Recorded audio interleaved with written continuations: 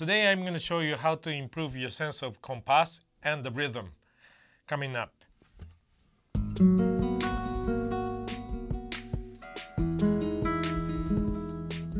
What's up guys? How you doing? I hope you guys are doing great. Last couple months I've been cooking a lot and I've been gaining weight, but at least I started to exercise at home.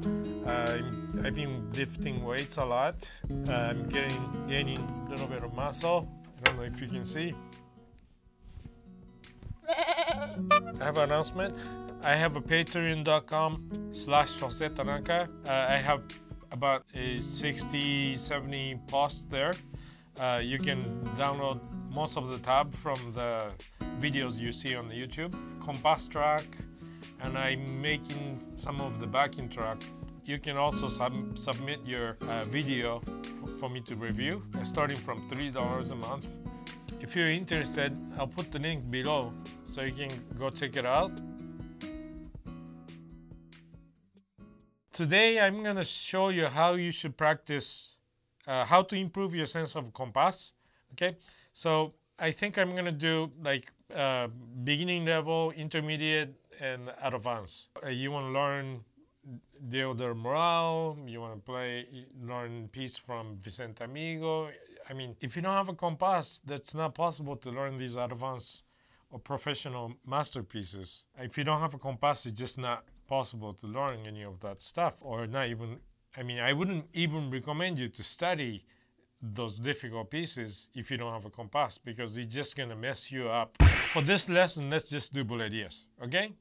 You know, beginning stage to get the sense of compás, I think three things you can you can do to improve your compás is uh, practicing your rhythm, you know, uh, with tapping your foot so you know where the accents where, where you are. Number two is you can practice palmas.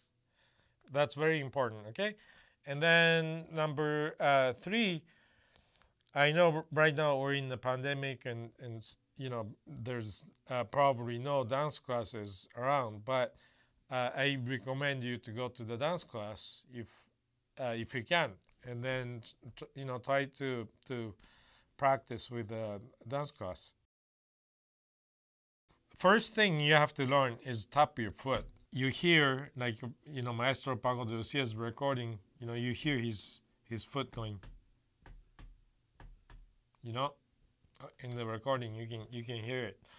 Uh, so if you're a beginner and if you're not used to tapping your foot, that's where you have to start tapping your foot. Okay, and then bulería, it's combination of threes and twos. Total amount of the beats is 12 beat, as you know. And then could be two threes in the front and three twos in the back. Could be three twos in the front and then three twos in the back. Or could be sixes, you know, medio comp- we call it medio compás. All that is not that hard if you tap your foot. I recommend you to just repeat threes and twos and try to feel how long you, you're playing. Like if you, let's say,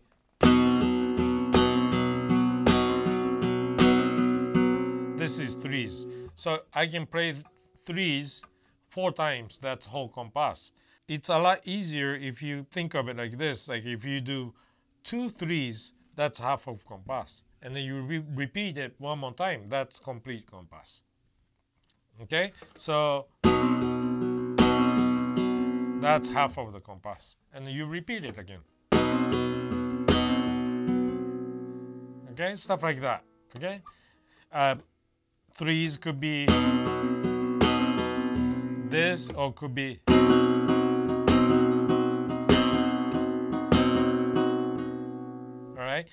you have to practice this with a metronome and also you have to play it like you mean it because i've seen this all the time. Beginning intermediate students they play falsetas you know so so okay. And then when it comes to the rhythm they all of a sudden sounds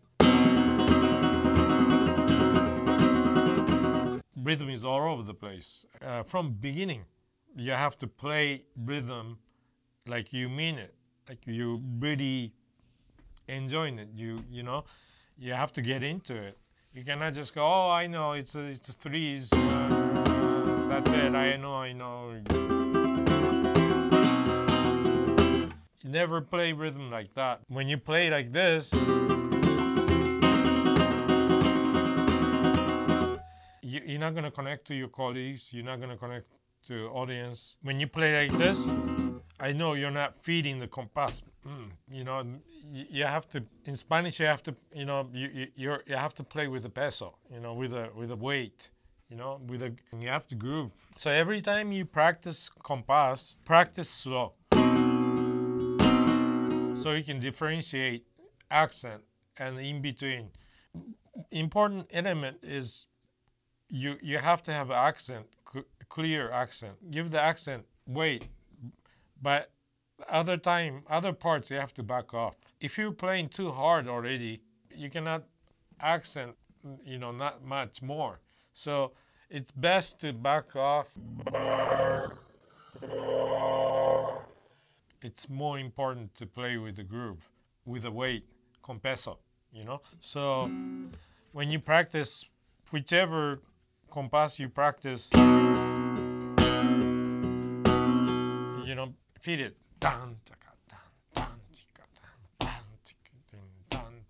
Any variation is okay. And then make sure you tap, tap your accent, you know. For beginners, I recommend just tapping on the accent. And if it's threes, tap on threes. If it's twos, tap on twos. Okay? And then, so it's pretty simple. If you do two threes, that's half a compás. And then you repeat again, that's complete the compás. If it's combination, you do two threes and then three twos. Then that completes the compás. For threes, you just have to feed it two times. And then feed it again, you know?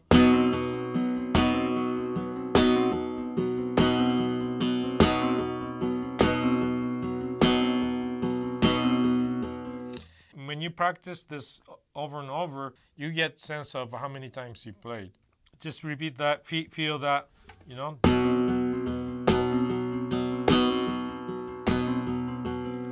Try to feed it. And if you're counting, oh, one, two, three, four, five, you have to stop that. It's not bad to, to count it out and, and to figure out what phrase goes where and what notes goes where when you're first learning but once you figure out once you learn it don't count when you play bulería up to speed it's impossible to count you have to feed it if you cannot feed it then you cannot play it you have to feed it okay uh, it's just that's the way it is to improvise and play more natural, you have to feed it. So you have to build a system inside you. Tapping your foot is the the important parts.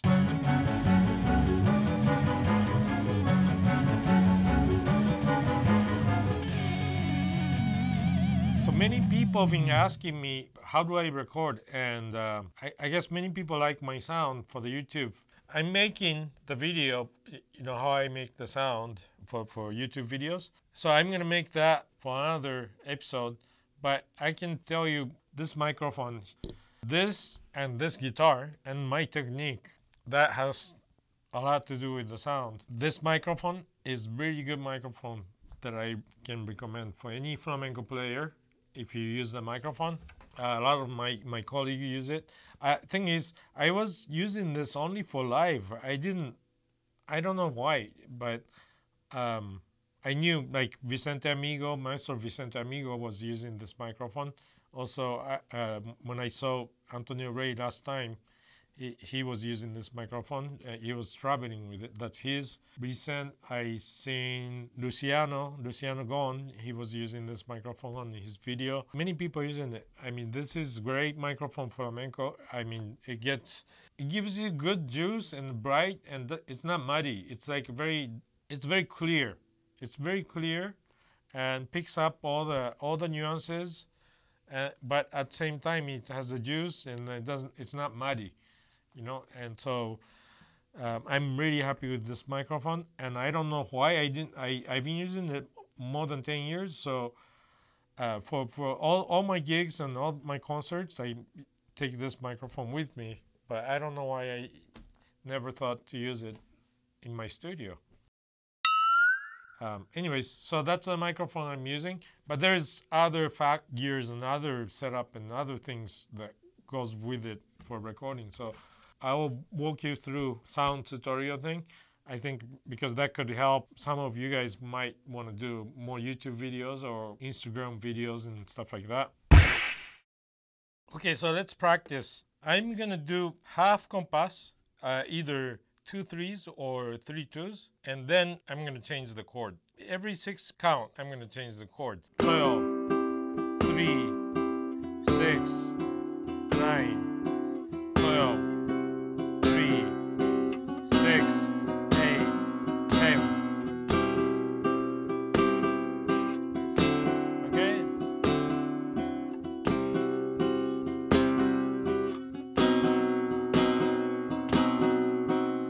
So I did two threes here, two threes here, and then two threes in the B flat.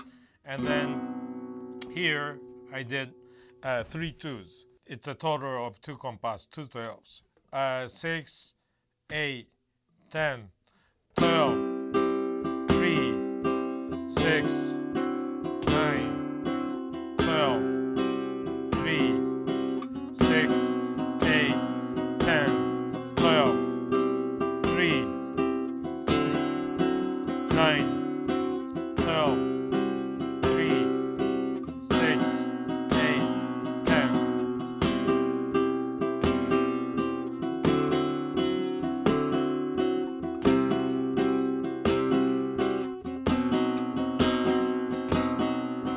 Any falseta or phrases you know, uh, you have to figure out first you have to figure out twos or threes. You figure out by you know tapping your foot and see which one fits better. And some phrase or some lick or some falseta goes both ways, threes or twos. Then then you can choose the one you feel comfortable with. For example, if you have a phrase like this,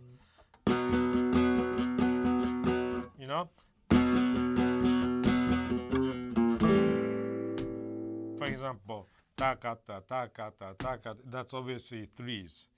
If you're playing threes, phra- phrases of threes, uh, top threes. If you're playing phrases of twos, top twos. For example, if you have a phrase like this,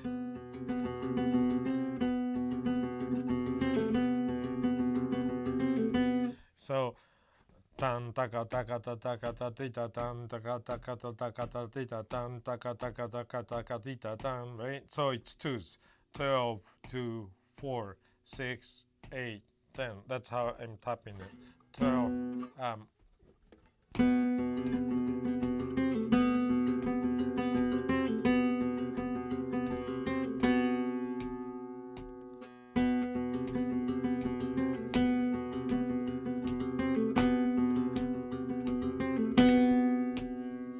So when you do two twos, uh, exaggerate beginning of uh, every um, six. So 12, 2, 4, 6, 8, 10.